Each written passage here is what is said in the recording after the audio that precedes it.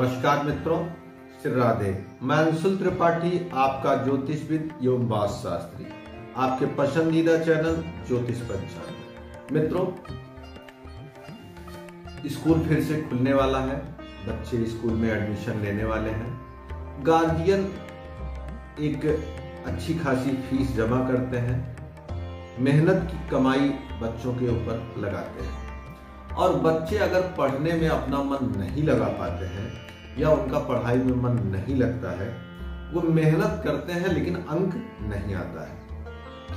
तो कहीं कहीं गार्जियन बहुत दुखी होते हैं और बच्चे भी दुखी होते हैं कि हम अपने माँ बाप के अनुरूप फल नहीं पा रहे हैं। इसी तरह के तमाम समस्याएँ हमारे पास आती रहती हैं, ज्योतिष से संबंधित, कुंडली दिखाने के संबंध एक उपचार है, जिसका प्रयोग हम आए दिन बच्चों पे करते हैं, जिसका अच्छा परिणाम आता है, वो हम आपके साथ साझा करना चाहते हैं इस वीडियो के माध्यम से। इसमें दो महत्वपूर्ण चीज़ें हैं। एक तो सबसे पहली चीज़ कि जो बच्चे के पढ़ने का स्थान है, वहाँ पर आपको एक क्रिया करनी है। दूसरी, बच्चा कहाँ पर पढ़ता है, ये दो महत्वपूर्ण चीज़ें हैं। सबसे पहले ज़्यादा समय न लेते हुए कि जहाँ पर बच्चा पढ़ता है, वहाँ पर आपको क्या करना है? जहाँ पर बच्चा पढ़ता है, सबसे पहली चीज़ करिए, पूरब दिशा में उसका मुख रखिए। कोशिश करके मुख उसका पूरब दिशा में रखिए। और पूरब दिशा रखने के बाद बाएँ हाथ पर हमेशा किसी पात्र में जल भर कर रखें। पात्र के संबंध में अगर आपके घर में चांदी का पात्र हो तो सबसे अच्छा। लेकिन अगर चांदी का पात्र नहीं है तो आप स्टील के पात्र में कोई भी चांदी की धातु, छोटी या बड़ी, डाल दीजिए। उसके बाद उसमें थोड़ी सी हल्दी डाल दीजिए। जब बच्चा पढ़ता रहे, उस समय वहाँ पर पानी भरा रहे, उसमें हल्दी और चांदी की धातु उपस्थित यह प्रक्रिया आप प्रतिदिन बालक के पढ़ने के स्थान पर कर दें ध्यान देना है, बालक पूरब मुख करके पढ़ रहा हो, बाएँ हाथ पर उसकी टेबल पे एक किसी भी पात्र में जल हो, शुद्ध जल हो साफ़ सुथरा जल हो, जिसको प्रतिदिन आपको परिवर्तित करना है, चांदी के धातु को निकाल लेना है। या चांदी का आप पात्र ही यूज़ करें तो और अच्छा होगा। और उसमें हल्दी डालना है।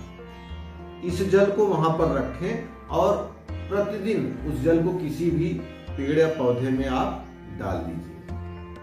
पढ़ते समय इसको करिए। 40 से 41 दिन में आपको इसका अच्छा परिणाम मिलना शुरू हो जाएगा। अनुभव में 10 से 12 दिन में ही बच्चों में परिवर्तन आना शुरू हो जाता है। बुद्धि के कारक बृहस्पति मज़बूत होते हैं और मन के कारक चंद्रमा उनमें मजबूती आती है, जिससे बालक जो पढ़ाई करता है, उसके प्रति उसका मन भी लगता है और चीज़ें उसे समझ में आती हैं और याद होती हैं। और जब बालक को चीज़ें समझ में आएँगी और याद होंगी तो ज़ाहिर सी बात है, उसके परीक्षा परिणाम भी अच्छे आएँगे। आने वाले परीक्षा में जो भी जातक अपने बच्चों के लिए यह उपचार करना चाहते हैं, करें। बस ध्यान में इस उपचार की शुरुआत बृहस्पतिवार के ही दिन करें। बृहस्पतिवार के स्वामी बृहस्पति हैं, जो ज्ञान के देवता हैं। इस दिन करने से इसका फल और अच्छा आता है। ये बात हुई आपके उपचार की प्रक्रिया की। अब हम वास्तु के संबंध में थोड़ी सी और बात करते हैं। आप अपने बालक को कोशिश करके घर के पूरब और उत्तर के हिस्से में ही बैठाएँ। इस हिस्से के स्वामी बृहस्पति हैं। भगवान भोलेनाथ का स्थान माना जाता है, जिनके सर पे चंद्रमा का वास होता है। यहाँ पर ज्ञान और एकाग्रता दोनों का समागम होता है। इसलिए कोशिश करें अपने मकान के पूरब उत्तर कोने पर ही बालक को बैठने की व्यवस्था कराएँ। तमाम तरह के आपके मन में प्रश्न होंगे, स्थान अभाव में। वो आप फ़ोन के माध्यम से अपने प्रश्नों को पूछ सकते हैं या कमेंट बॉक्स में अपने प्रश्नों को छोड़ सकते हैं। आप फिर से एक बार पूरी प्रक्रिया सुन लें। बाएँ हाथ पे जहाँ बालक पूरब मुख करके पढ़ रहा है, किसी भी पात्र में, जिसमें या तो चांदी का पात्र हो या चांदी की कोई धातु हो, उसमें शुद्ध जल और हल्दी होनी चाहिए। यह उपचार की प्रक्रिया है। बैठने के स्थान में हमने बताया पूरब और उत्तर कोना, जिसे ईशान कोण कहते हैं, इस स्थान पे अध्ययन की प्रक्रिया अति आवश्यक है। यह है वास्तु और उपचार का एक मिला जुला प्रयोग। जिसका प्रयोग हमने कई लोगों पे किया एक अच्छा परिणाम आया। आज हम दर्शकों के, के लिए इस प्रयोग का साझा कर को साझा करते हैं और ज्योतिष पंचांग के माध्यम से आपको पहुंचाते हैं।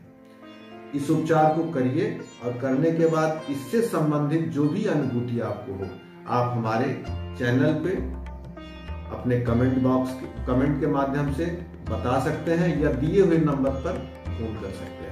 धन्यवाद, श्री राधे। उम्मीद करती हूँ आपको वीडियो पसंद आया होगा तो इसे लाइक करना ना भूलें।